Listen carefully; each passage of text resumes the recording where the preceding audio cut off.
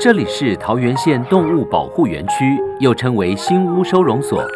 今天是周末，所内志工们趁着好天气，把狗狗们带出来散步晒太阳。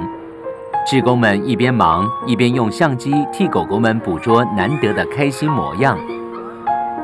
呃，因为入园公告上面它只有一张小小的一个很自式化的一张小照片而已，所以说其实民众很难由那这样子这么小的照片去了解说这只狗的个性或者怎么样。那如果没有人帮它传播出去的话，他们是没有任何机会的。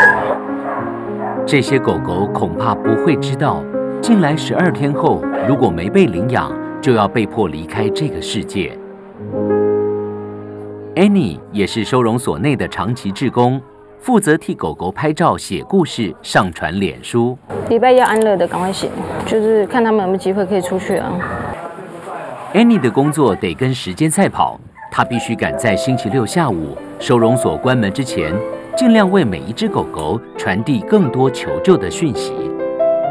像这两个小朋友，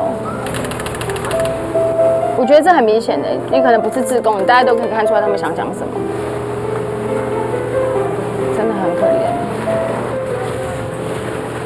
为了让上传的照片充分诉说狗狗的真性情，Annie 想尽办法拉近与狗狗的距离。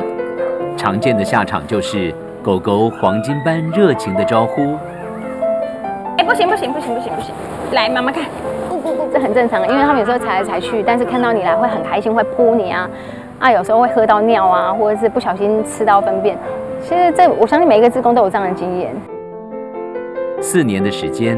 Annie 成功送养了三千多只毛小孩。